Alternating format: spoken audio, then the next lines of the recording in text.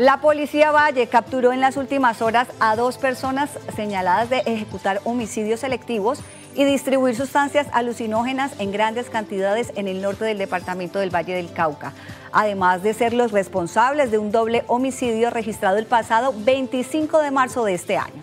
Los hombres fueron identificados como Giovanni Andrés Mosquera, conocido con el alias de Llantos, y José Ibargüen Mosquera, conocido con el alias El Niche. Un juez con función de control de garantías les dictó medida de aseguramiento en centro penitenciario.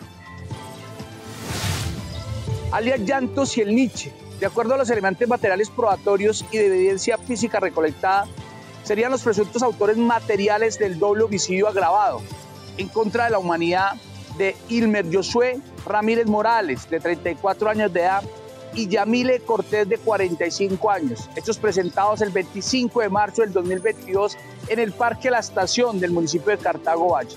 Es importante mencionar que los capturados al parecer serían integrantes del grupo delincuencial organizado Los Flacos.